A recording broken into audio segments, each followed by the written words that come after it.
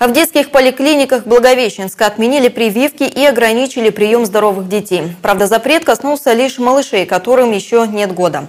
Таким образом, в лечебных учреждениях борются с сезонным ростом ОРВИ.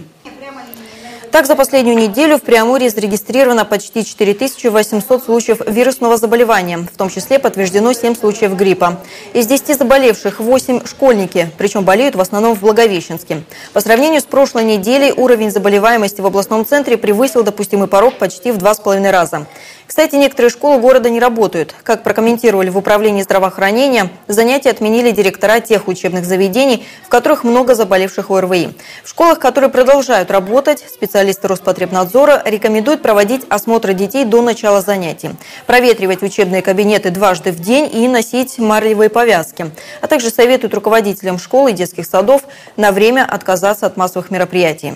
Согласно постановлению главного государственного санитарного врача, каждый руководитель образовательного учреждения имеет право по распуску либо класса, либо группы в детском саду, если там заболеваемость превышает 20%. Фильтр проводится на уровне класса.